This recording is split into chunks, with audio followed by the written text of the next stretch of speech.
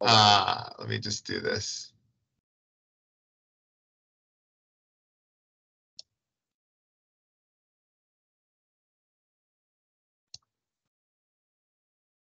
Hello, everyone. Uh, welcome to our bi-monthly uh, spinal cord injury uh, in-service educational updates. I'm here today with Dr. David Weinberg, who's going to be talking about adaptive sports in spinal cord injury, uh, particularly wheelchair rugby, which I think is a, a really uh, interesting and exciting topic. Uh, as usual, all of our videos will be posted on YouTube if you'd like to review it at a later time. Um, so without further ado, I'll introduce Dr. Weinberg. Hello, everyone. Uh, so I picked my topic on adaptive sports. Um, kind of as Dr. Abramov said, I'm going to really focus on wheelchair rugby, but we'll talk about a few other sports. Um, I'm a second year resident here at the uh, Penn PM&R, and Dr. Abramov is my um, mentor. So moving on with the slides. Uh, so just some basic epidemiology behind SCI. Usually around the world, there's about 18,000 new SCI cases per year. So at least 300,000 individuals in the US um, who live with an SCI. Um, and many were athletes prior to the injury. Um, and I think that's a big thing where, you know, if you had, example, there's, you know, many athletes who had an SCI playing football or any other sport and kind of getting back to that level of competitive play is really something that's important to them. Um, and doing it in an adaptive way is something that uh, I think is what we'll kind of talk about. So, um, what is adaptive sports? I think most of us know, but they're basically the modification of sports to accommodate individuals with either physical, cognitive, or visual disabilities. So it's not just SCI, you know, it's really for any disability modifying sports. Um, and you can either do it two ways. You can either use special equipment, or there's actually some sports that are just specifically created for those with disabilities. Um, and again, just any disability. And there are tons of adaptive sports, which I'll show on the next slide. So this is um, from the uh, 2020 Paralympic Games that were in Tokyo, and they're actually in 2021, but um, they got delayed because of COVID.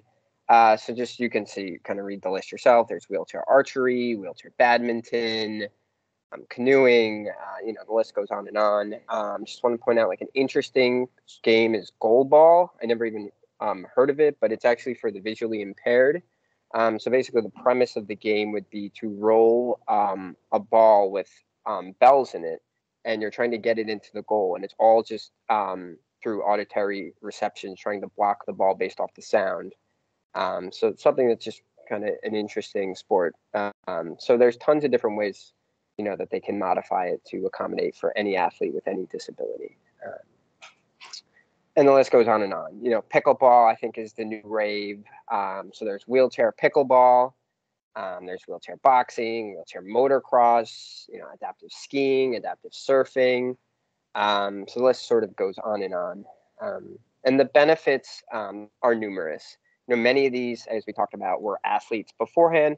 So getting back to that team sport is something that's really pivotal. Um, you know, getting back to that competitive spirits and you know doing it in a way that's you know safe but also in a way where they can feel like they're competing again i think is important and you know the list can help improve your functional mobility your strength your balance i mean most of these i think we know you know obviously there's a huge psychosocial impact um, you know getting together with friends coming together with a common goal i think is important obviously you're exercising so you're reducing cardiovascular disease you can improve you know your overall cardiopulmonary performance, which is can be um, limited depending on the level of um, your spinal cord injury. Um, improves your ADLs, improves your endurance, and the list will just go on and on. So there's so many benefits to it, and I think it's um, you know really something important to talk to our patients about if they were athletes before, or even if they weren't, as potential options to really get back into the community and be a part of something. Again, I think is is really important. Um, so just a little history about adaptive sports. So kind of the roots actually trace back to 1796 with the uh, gymna- Gymnasticon, it was called by Francis Lowndes. So he was a inventor and he kind of created this wheel. It's basically like a flywheel, which is connected to wooden pedals on the floor. And you could also have grab bars with your hand. It's kind of similar to like the modern elliptical. And the goal was for um, to use it in people who were either sick or like sedentary who didn't really exercise to try to get them to exercise again. So if you had a lower extremity injury and you know, you know, paraplegic, you were able to use your hands to kind of pull the wheel to get some exercise. Um, more modern, um, people kind of consider Dr. Ludwig uh, Guttmann, who was a German British neurologist, to sort of be the founder of eventually what became the Paralympic Games. Um, so he was actually a neurologist at the National Spinal Injury Center at Stoke Mandeville Hospital in England. Um, and at the time, he held an archery competition for a wheelchair archery competition for 16 um, like war SCI patients. Um, basically, he believed that you know rehab through sports was something that's pivotal in recovery of for um, after an SCI. And eventually, this sort of became onto multi-sport wheelchair events with different events. And then eventually, the first summer Paralympic Games occurred in 1960 in Rome. 400 competitors from 24 countries. Initially, it was only athletes in wheelchairs, um, but eventually they expanded that, as you know, you saw in a few earlier slides. And the first Winter Paralympic uh, Games were actually in 1976. So, kind of talking about um, wheelchair rugby. So, I, you know, many for SCI patients, many adaptive sports are really beneficial if you're, you know, paraplegic and you only have really use of your arm. But I think what's interesting about wheelchair rugby is basically no matter what your functional level is, you still can play, and they have different roles for each player, which I think is a really unique thing and kind of differentiates it from other sports. Um, so basically, as long as you have C5 preserved, um, allows you to have some elbow flexion, shoulder abduction, and um, then you could play wheelchair rugby. So basically, wheelchair rugby was initially designed as an alternative to wheelchair basketball. And the key thing is you need to have at least a functional impairment in three limbs. And there are sort of specific criteria. Um, but basically, the goal is you're trying to take the wheelchair and get a ball across the goal line from one end of the court to the other and you have 40 seconds to score a point. Otherwise, it's a turnover and you concede the possession. Um, and it's not just an SCIs, you can actually be any um, disability where you have an impairment in three limbs. Um, so, again, the rules you're basically playing with a volleyball on a basketball court. There's four quarters, they last about eight minutes each, and then it can go into overtime. Um, there's four players per team on the court at once. I believe there's 12 players in total that can play. And again, kind of the objective is to carry, dribble, or pass the ball to score a goal. Um, and a key thing is contact is allowed. It's a, as you can see in the picture, it's a pretty physical sport, um, but it must be done safely. So you, you know, you can't hit someone from behind with the wheelchair. Um, you can't actually make physical contact, but you can hit them from the side. Um, and basically, the goal is to try to prevent them from scoring the ball um, across the line. And you know, you can either pass the ball, you can roll it, you could dribble it, you can carry it. Um, you can only hold the ball for about 10 seconds before you have to, um, you know, either pass or, or bounce the ball. And then a 40 seconds would be a turnover. Um, and then I think what's interesting is is the max amount of combined sort of functional points is eight. So I'll kind of talk about this on the next slide. Um, so each player is actually assigned a functional point based off their upper extremity strength testing. Um, so I kind of have a chart here, which I'll dive into a little bit more of the specifics. But lower functional point players tend to have a more defensive role, and higher functional point players have more of an offensive role. So basically, you have to add up the point totals so that it can exceed eight. So, for example, if you had two three point players, so it'd be three, and three is six. The max you could have is two points. You could have, you know, a one, a one point player and a one point player, or you know, a 1.5 and a 0.5. Um, and basically, the functional point system, I would say, is generally correlated to your neurologic level of injury. Um, so, with lower points sort of equating to a higher level of injury. Um, so, sort of a half a point would probably be more like a C5 neurologic level. Um, you know, one point you know, it kind of gets a little blurred the lines, but generally, as it goes down, it goes down to 3.5, where you're more at probably like a T1 level um, from a spinal cord perspective. Um, I kind of talked about it here, and I'll go into more specifics on the next slides. Um, but defensive athletes tend to be your lower point players, so their role is more blocking. Um, so they're like a 0.5, 1, 1.5. They're sort of defensively, and your major offensive players would be higher um, functional points. Um, so just getting more into the specifics, you kind of get a sense of what it is. Um, so for example, like a functional point to be classified a functional point of 0.5, you would need to have um, you can have up to full strength in your deltoid or biceps, sort of C5 being intact, but you cannot have more than like a one out of five strength in your triceps, your lats, or um, the sternal head of the pectoralis. Um, so again, kind of similar to your C5 neurologic level of injury. At this point, you're mostly just a blocker. You know, not much function of the hands. Um, really can't handle the ball. Um, you can, you know, catch the ball into your lap. Um, you can possibly bat the ball down um, if it's, you know, near the shoulder level. Um, so there is a functional role. And then the wheelchair, you know, at a C5 level might be a little more difficult to handle a manual wheelchair, but they can have modifications. I, I don't know if anyone, you know, I tried to look this up, but, you know, if anyone's watching this and, and knows specifically what wheelchair modifications are allowed for someone who's a 0.5 player, um, I tried to look in the rule book, but I couldn't find anything specifically, um, you know, where they would need maybe like spokes on the side to help wheel. Um, was a little unclear to me, but um, if anyone knows, and I would be happy to learn more about it. Um, and then kind of moving down like functional le- class of 1.5, as you can see here. Um, basically, you have your full strength in your biceps and deltoid. You have four out of five strength of your wrist extensors, so at least C6 is intact. Usually, like between four, four minus of your pectoralis, three they call it three plus. Um, but you must have less than three uh, three out of five strength of your lat dorsi and the um, sternal head of your pectoralis. So again, similar to more of like a C7 neurologic level of injury.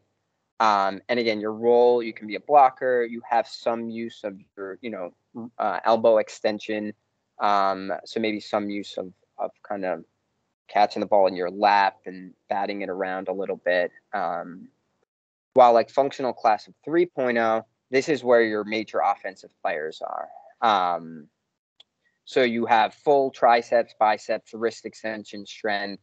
You have near full finger um, flexion and extension. You know, weak in your interossei, your lumbar lumbricals. So maybe grip strength is impaired a little bit.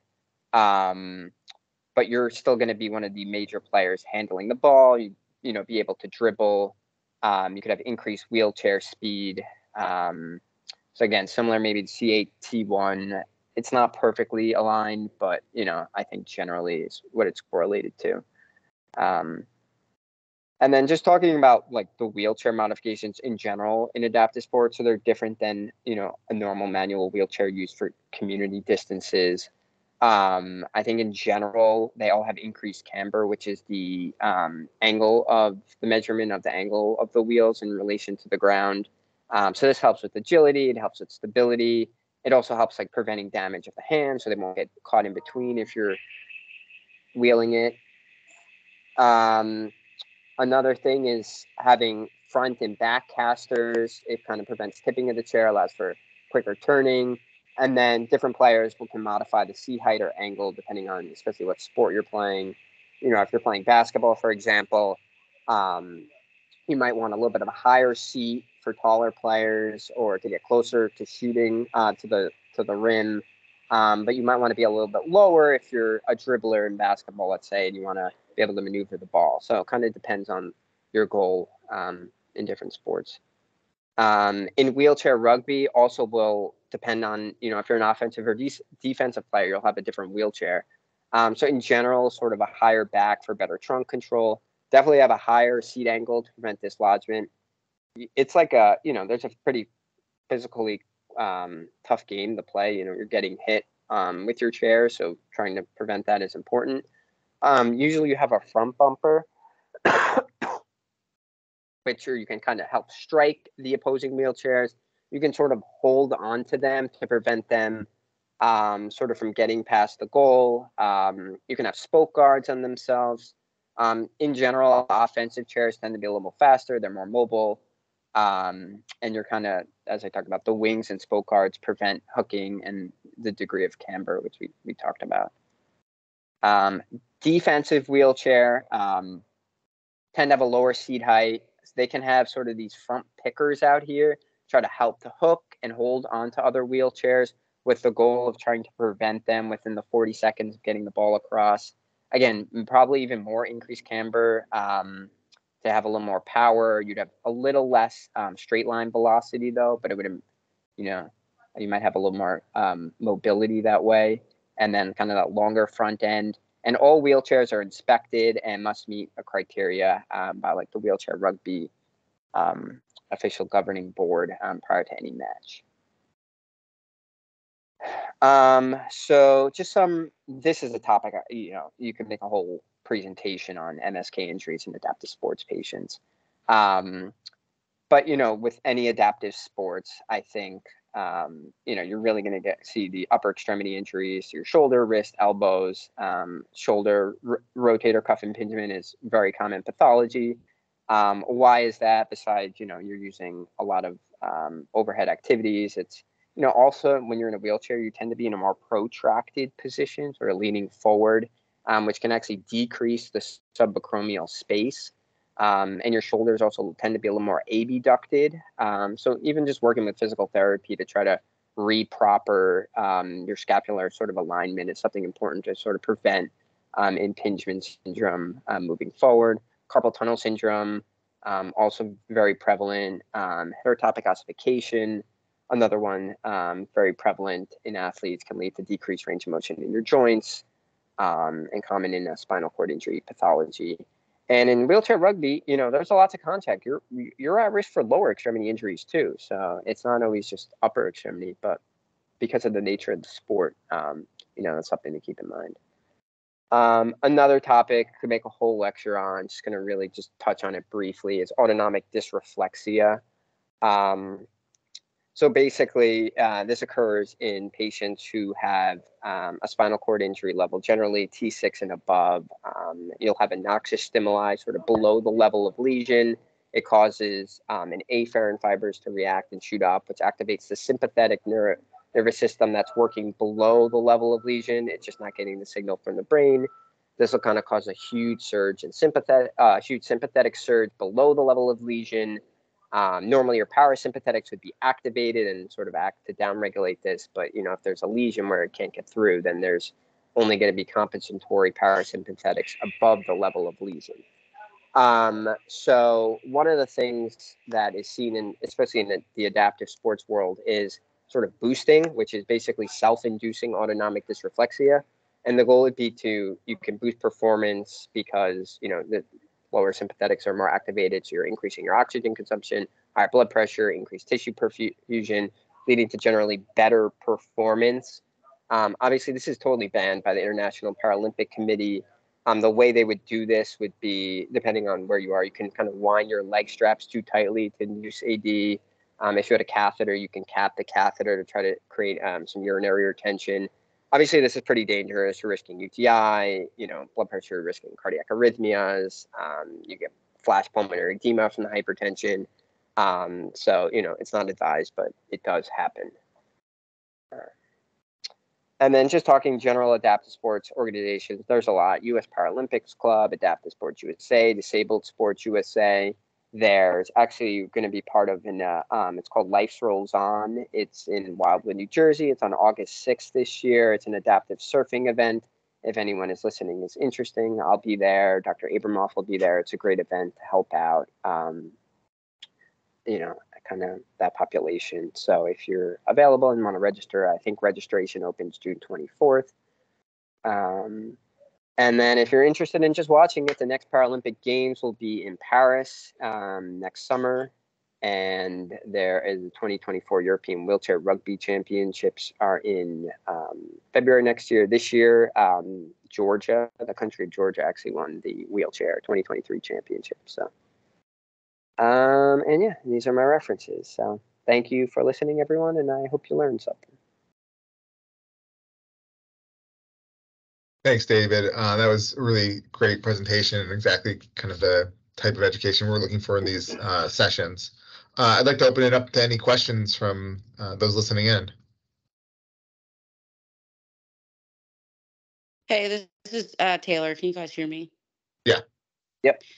Yeah, great talk, David. I, I really appreciated that you went into actually how wheelchair rugby is played um, and like the rules of the sport. I think you know so often we talk about these adaptive sports that are available to our patients without really having that knowledge and taking the time to look into that. So that was actually really helpful, and um, I'm glad you did that. Thanks, Taylor. Appreciate it.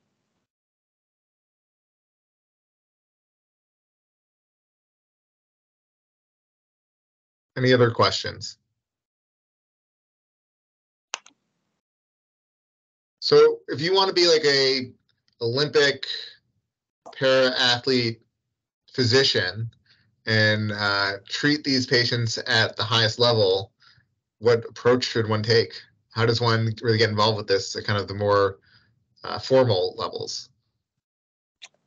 Um, I mean, I'm not sure on too sure on the specifics, but I would assume, um, you know, getting involved at the lower levels with your local adaptive sports USA um, club, you know, different events, trying to network, and um, I think it's like any, you know, thing in life, just sort of networking, and it's all about who you know. Should you do Um, sports medicine? Should you do spinal cord injury medicine? Do you Oh, specifically. Um, I mean, you know, I think PM&R trained is important. I think either SCI or you know sports medicine with a PM&R background, I think would be, you know, both. I'm sure both are are needed. Do you know anything about I'm the not, Do you know anything about like the certification process to become a like clinician certifier? I I do not know. So that's a good first step for people who are like interested is being able to like score and you know classify patients uh, or individuals with um, spinal cord injury and disability. That way you can um, uh, get to know some of the athletes and get get involved that way as well. But volunteering is also a great way to get started too. Any other questions? Well, just a comment, David, I appreciated the historical information because that was new to me. So thanks for that. No problem. I'm a history guy, so. Oh, good. Okay, well, great, everybody. Uh, thanks so much. And if any other questions come up, uh, you know where to find Dr. Weinberg. Thank you. Thanks. care.